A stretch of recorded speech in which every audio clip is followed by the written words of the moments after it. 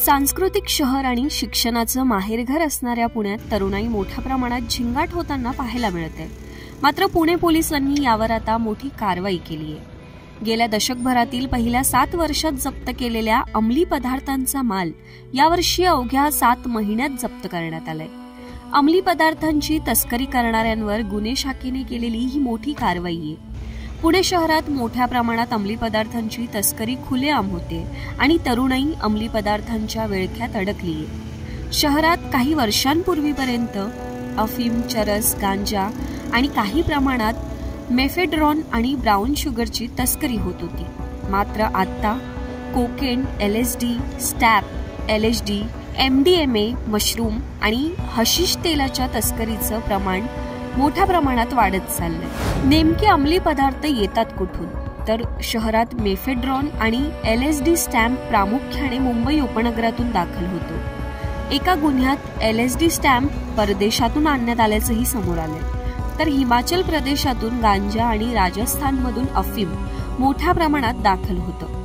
दुसरीकडे पोलिसांच्या गुन्हे शाखेकडून अंमली पदार्थ तस्करींची पाळे शोधून काढण्यात येते यात तस्कर आणि विक्रेत्यांचं जाळं उद्ध्वस्त करण्याबरोबरच अंमली पदार्थांची नशा करणाऱ्यांचं समुपदेशनही केलं जातं पुणे शहरामध्ये अंमली पदार्थ विरोधी अभियानांतर्गत नार्कोटिक सेल एक आणि दोन यांच्याकडनं कारवाई केली जाते. त्याचबरोबर दोन दुसऱ्या टप्प्यामध्ये आपण की समुपदेशन कॉलेज असेल शाळा असतील त्याचबरोबर सोसायटी असतील त्या ठिकाणी जाऊन आपण जे काही प्रायव्हेट पब्लिक आहे किंवा मुलं आहेत यांच्याशी आपण समुपदेशन करत आहे.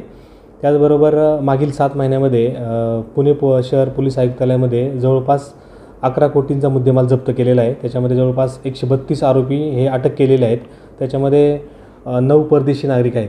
आपण याच्यामध्ये जे काही आरोपी किंवा जे काही आरोपी आपण पकडत आहे किंवा जे काही केसेस होतात त्याच्यामध्ये आपण त्याच्या मुळाशी जाण्यासाठी आपण ज्या ठिकाणी त्याचा सोर्स आहे किंवा ज्या ठिकाणामध्ये आलेली आपल्याला प्रायमरी इन्फॉर्मेशन भेटती त्या ठिकाणी पण आपण जाऊन त्या आरोपींचा शोध घेतो आणि त्याच्यामध्ये ज्या आता दोन केसेस झाले त्याच्यामध्ये आपण राजस्थान या ठिकाणावरून आपण जो सोर्स होता त्याच्यामध्ये आपण दोन गुन्हे दाखल केलेत आणि त्याच्यामध्ये जवळपास आपण पाच आरोपी अटक केलेले आहेत. काही दिवसांपूर्वीच पुण्यात ऑनलाईन अंमली पदार्थ विक्रीचा गंभीर प्रकार उघडकीस आला होता.